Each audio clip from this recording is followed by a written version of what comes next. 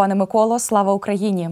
Героям слава дуже дякую за запрошення. Дякуємо, що погодились. Е, учора з'являється інформація, що Макрон хоче послати війська до Одеси.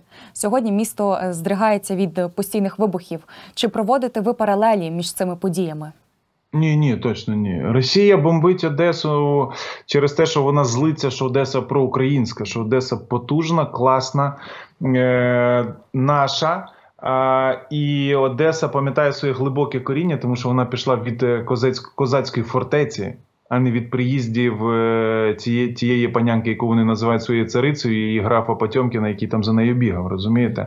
І Одеса насправді має глибоке е, українське коріння, і вона його пам'ятає. Більше того, Одеса має і гарні зв'язки завжди мала з Францією, і це багато градоначальників, які були французами. І це якраз таки історія про те, що торгівля завжди була з Францією, а свого часу навіть і велика кількість одеситів поїхали до Франції і стали там місцевими елітами. Ну, як мінімум, їхні внуки для прикладу, попередній міністр економіки був е, з.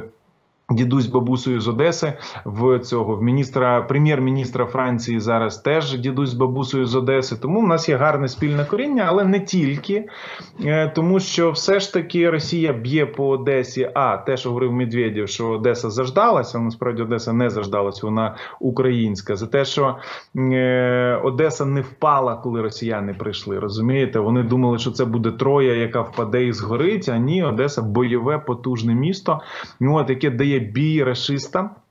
А друге, росіяни хочуть ам'якового проводу. Вони хочуть бити по Україні, а в той же час через нас гнати ам'як і заробляти гроші. Ось чому вони б'ють насправді по Одесі. Ну і третє це збіжжя. Одеса це сьогодні порт, це велетенські ворота українського зерна в світ. Якби не Одеса і Чорне море, е, ми не змогли витримати правильну ціну, конкурентно здатну ціну для українського зерна в світі.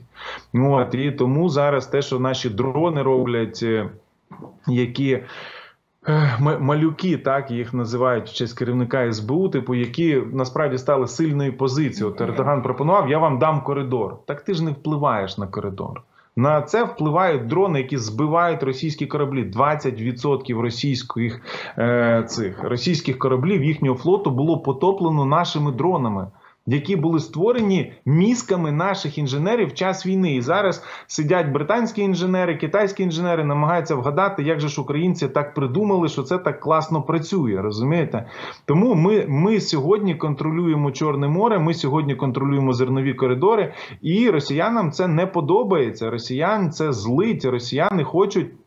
Ну от е, те, щоб Одеса впала, і вони там контролювали і зійшлися, з'єдналися з Молдо з цим з Придністров'ям, захватили Молдову, але цього всього не відбувається по багатьом причинам, в тому числі характер Одеси, в тому числі через хребет Миколаєва, який відстояв Одесу. Теж давайте чесно казати, найбільше місто побратим е, Одеси це Миколаїв, який врятував її в 22-му році і боронив весь 23-й.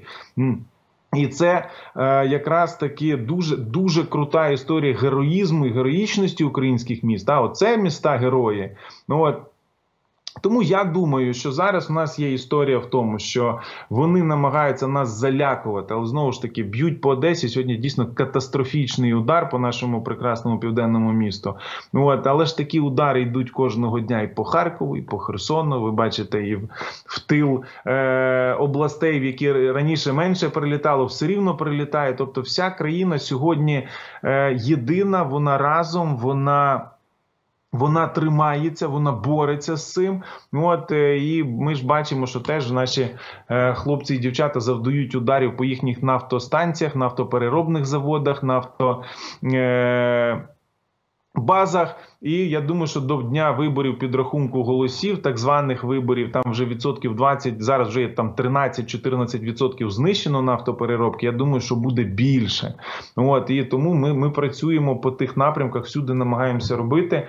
От, але дійсно не вистачає ППО, не вистачає антидронової техніки для того, щоб їх знищувати просто на підльотах до міста. Тому що, бачите, все ж таки море і місто багато в чому не захищене, але в той же час місто використовує море для того, щоб допомагати всій Україні вести зерно, знищувати їхні кораблі. І дійсно, ми сьогодні по праву вважаємо Одесу одним з міст героїв, які просто відважно борються за українську суб'єктність і українську незалежність. Угу. Дякую за такий історично-аналітичний екскурс. Це важливо. Ви вже згадали про вибори. Чого чекати від цих трьоденних виборів чи псевдовиборів, е, чи радше того цирку, що там відбувається? Як ви вважаєте? Е, про вибори, але от ще, ще одне слово за Макрона. Я хотів сказати. Макрон робить це не тому, що е, зараз така гра. Макрон розуміє, що давши Україні можливість повернути Крим. Франція як потенційний лідер Європи за умови виходу Трампа, якщо він переможе з НАТО, Франція стає топовою країною Європейського союзу, єдиний в кого є ядерна зброя. Росіяни вибивають з них Африку, а вони від росіян виб'ють все Чорне море.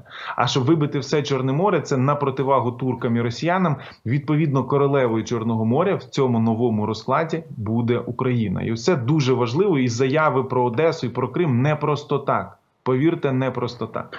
От щодо імітації бутафорії, ви бачили, що і за економіст вийшов просто з розгромною статтею. Ви бачите, що е, вся європейська преса з цього жартує, кипкує, ніхто не визнає. От е, Друга річ, Шарль Мішель там взагалі протролив, вже привітав Путіна з перемогою. Каже: ну які ж у вас вибори? Значить, вже можна вітати. От ну росіяни.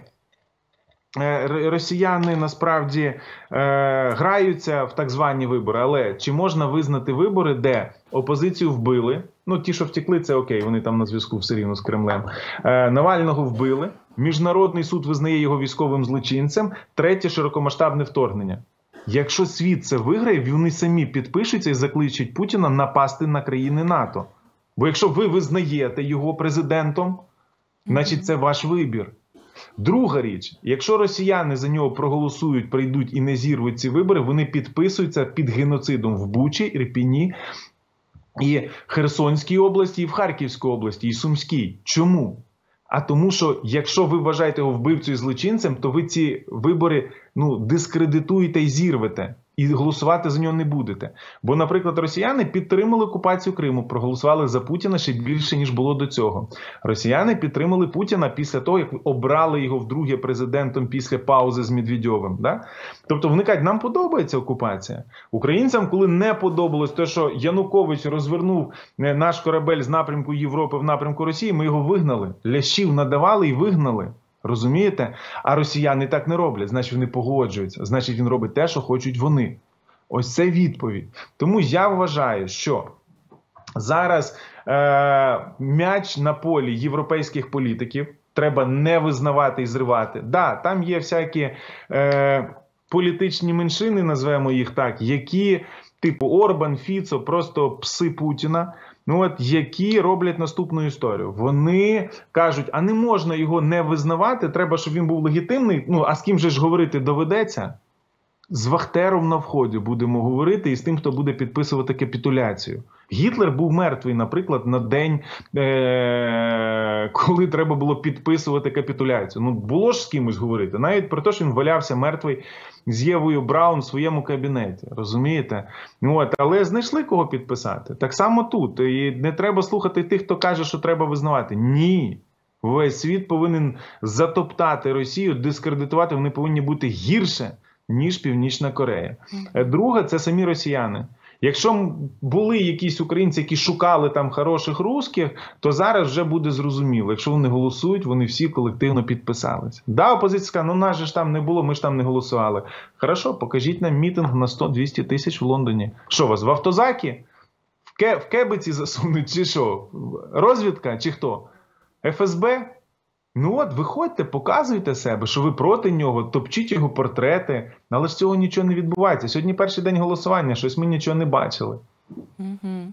От я тут згадую собі слова е, вже покійного Юрія Шухевича, який казав, що основна відмінність е, українців від росіян це те, що коли українцям щось не до вподоби, ця свободолюбивість, вони виходять, вони бунтують. А росіяни це вже називали анархізмом. Але від виборів до рейдів, якими можуть бути наслідки, пане Миколо, е, ударів по Росії і рейдів добровольців та радикам? Ну, дивіться, я дуже так, е, скажімо, достатньо скептично до цього ставлюсь. Не сильно я в це вірю, але скажімо так, якщо там буде хоча б на 1% фактор України чи українськості, то повірте, це буде супер успішно. Якщо України там не буде, ну росіяни самі там діла не зроблять. На Тьоткіно воно і завершиться. Але якщо десь, хоча б наші будуть давати їм поради, а можливо, десь трошки підштовхувати вперед, то дійсно може бути гарна історія. Я думаю, що тут треба дати ще кілька днів розкачатись. Вони зайшли на територію, три дні протримались. Це вже гарно, молодці. От, але треба більше. Треба більше далі. І ми я думаю, що якщо наші підключаться і трошки допоможуть, знову ж таки, ми ж зв'язані теж. Ми ж не можемо це робити відкрито, публічно і в цілому, якщо там зараз наші західні партнери здогадаються, що ми теоретично можемо навіть там бути. Ну це одразу перетвориться, що там якісь атакамси не будуть давати, ще щось будуть шантажувати. Ось це нам не треба. От, але коли ми говоримо про те, що там треба, щоб прийшла смута, як ви кажете, анархізм. Е, ну треба, треба сіяти це. Але я бачу, що, наприклад, поки РДК там робить це руками ось цього рейду, то, наприклад, гурі СБУ робить це руками дронів, які летять на нафтобази Угу. і летять влучно. Треба віддати належне, навчились робити такі дрони, які летять тисячу плюс кілометрів. Бо, наприклад, одна з нафтобаз Лукойла, вона більше ніж 1100 кілометрів від нас долетіла. От, тому, скажімо так, нехай роблять будь-яка користь, яку вони роблять, вона корисна. Це не значить, що ми їм списуємо, що зараз пробачимо всіх росіян, чи ми там будемо їх любити. Ні. Вони роблять це для себе. Що важливо розуміти? Вони не для нас це роблять, а для себе і своїх дітей, якщо не хочуть жити в цій гнилій диктатурі. Але ми їм точно нічого не винні. Ось це ми чітко повинні відмежовувати і розуміти. Абсолютно, ви вже між іншим згадували Медведєва. І Тут у Росії представили свою версію миру е, з Україною та закінчення війни. Зокрема, йдеться про заяви того чоловіка, про якого я згадала. Що це означає для України та як е, зараз нам на це реагувати? Та нічого. Ну слухайте, це те саме, що ну я навіть не хочу говорити на що звертати увагу. Дивіться, це порожні слова. Людина алкоголік, вона хвора, і його треба лікувати. Ну, От я думаю, що можливо колись його звідти викрадуть і відвезуть якусь іншу країну. Ну він він просто без, безперспективно хворий. І він озвучив. Він там сьогодні закликав вішати людей. Ну, от пропозиція заходу, там альтернативи його формули мира, ще деякі речі. Тому ні, Медведєв це ну це. Це просто туалетний утьонок, і більше з нього ви не візьмете. І в нього був шанс бути президентом, але він боягуз і типовий росіянин. Просто віддав те, що було в нього в руках, і віддав його назад Путіну. Хоча міг би Путіна стерти з лиця землі, цього всього б не було б. І був би сьогодні як Сі Цзіньпін чи як президент Лула президентом нормальної регіональної країни, без цих імперських амбіцій, але і без невизнання у всьому світі. Ну, От, але він не зміг, не захотів, не знаю. Це це, це вже його персональна історія. Нехай він потім її розказує, як цар Ніколай II розказував матросам, які хотіли його розстріляти. От, я думаю, що в нього така можливість буде і бажаю, щоб вона в нього така була. Ну от, але я думаю, що е, ці ці речі вони навіть не варті нашого з вами аналізу. Е, Я вам скажу, чого вони сталися краще. Вони сталися по одній простій причині. Росіяни закидали три переговорних трека через саудитів, турків та китайців. Україна не прийняла умови жодного з них, і вони вирішили показати альтернативу. Тому що вони пропонують, ага, ви не хочете, значить, окупацію всіх територій, тоді захватити всю країну. Ну і в їхній версії, типу, українці мали б злякатися, сказати: О, ні, о, ні, дзвоніть Путіну, в кого є номер телефону. Як же всю країну давайте, значить, домовлятися, погодитися. Ну але так не відбувається, тому що українці не росіяни, це хоробра, свободолюбива нація, яка під три чорти пошле будь-яку імперію. Тому якраз таки їхні плани зазнають невдач. А наше завдання качати Росію, якраз таки готувати її до розвалу. Коли ми переможемо, коли московська країна або там те князівство, яке навколо Москви, буде менше ніж 40 мільйонів, і тоді вони зрозуміють, що закидати нас башкірами, бурятами, ічке, ічкерами чи, наприклад, татарами вони не зможуть. Вони не зможуть, і своїх буде шкода, а чужих вже не буде. Друге, це те, про що говорив Макрон, і те, з чого ми починали, коли на нашій стороні буде війська НАТО. І, наприклад, вони скажуть, ну в них умовно мобілізаційний потенціал 20 мільйонів. А НАТО каже, а ми дамо 30. Все, тоді вони розуміють, що це те саме, що воювати з Китаєм завжди буде більше. Коли ми покажемо йому психологічну модель, що тут може бути більше, він почне відступати. От і ось тут це треба розуміти. Їх треба змінити математику війни. Не, в них зараз на столі лежить, що їх в чотири рази більше. А нам треба показати, що нас чотири. Тоді він зрозуміє, буде відповзати.